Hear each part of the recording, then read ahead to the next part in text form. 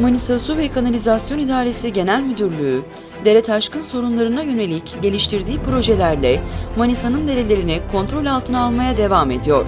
Maski'nin bu amaçla çalışma yürüttüğü Atatürk, Cumhuriyet, Sipil, Kuşlubahçe, Nurlupınar gibi mahallelerde yıllardır yaşanan taşkın manzaraları tarihe karıştı.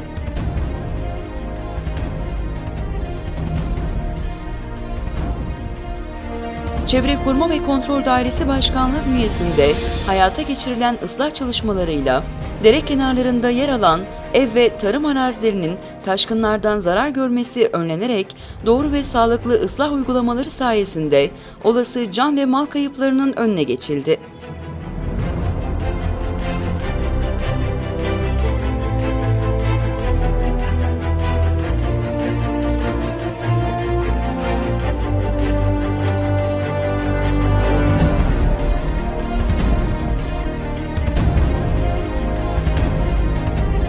Bu ıslah çalışması bir türlü bu şekilde, nizam bir şekilde yapılmamıştı. Bu yapılan ıslah çalışması Büyükşehir Maski tarafından yapıldı. Bunu gündeme getirdik. Ee, böyle böyle bir sıkıntımızın olduğunu, Kırtık Deresi'nin e, yıllardan beri ıslah çalış ihtiyacı olduğunu ve yapılmadığını söyledi. Şu andaki maski çalışmasıyla yapıldı. Buradan öncelikle Büyükşehir'e, maski herkese teşekkür ederim. Islah çalışması mahallemizdeki çoğu pislikleri kaldırdı. Yani bir güzel bir ortam getirdi bizim için bu çalışmadan dolayı herkese teşekkür ederiz.